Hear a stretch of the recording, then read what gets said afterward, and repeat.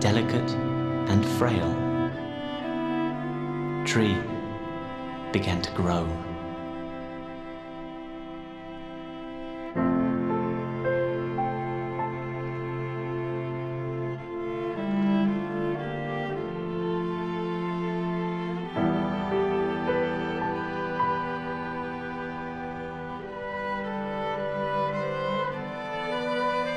through the dazzling morning sunshine, the drenching afternoon rain, and the shaking of evening winds.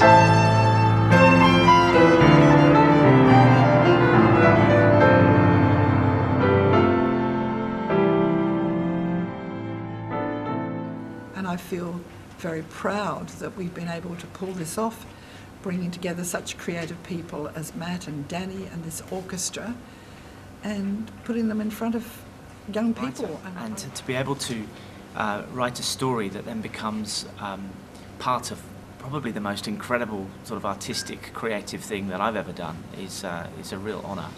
Um, to see your words turned into a fantastic picture book by an artist of such incredible skill as Matt, and then to find that he's written an entire musical score to it, and that the Lit Centre and WASO have come together to present and perform that, and to then be able to be a part of the presentation and to work with the kids is just, uh, it's just incredible.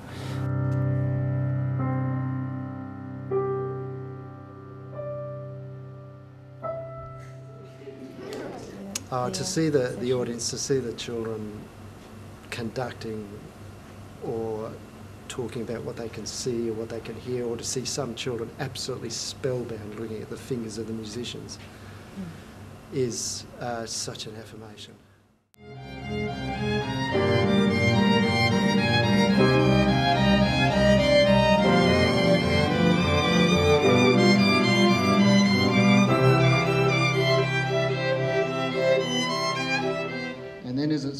Settle, often, and again I just watched a lot of leaves, it'll do that sort of motion. So I wanted to take that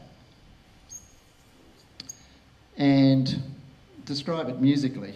So literally, I just did a bunch of lines like that. If I take the note, turn those into note heads, etc. It goes on for a bit longer than this you basically get this kind of sound.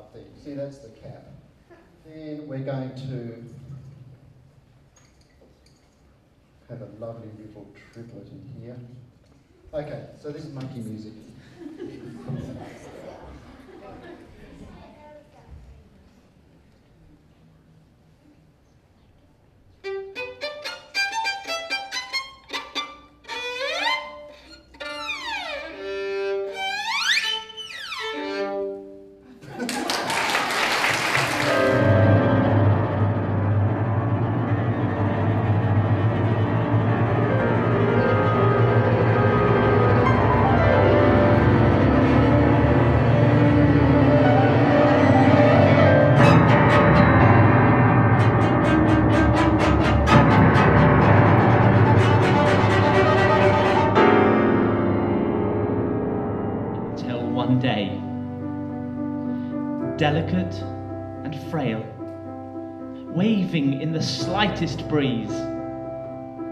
Something tiny and precious, sheltered at Tree's side. Tree stood tall, broad and strong, mighty and complete. And in the sun, the wind, and the rain, they grew together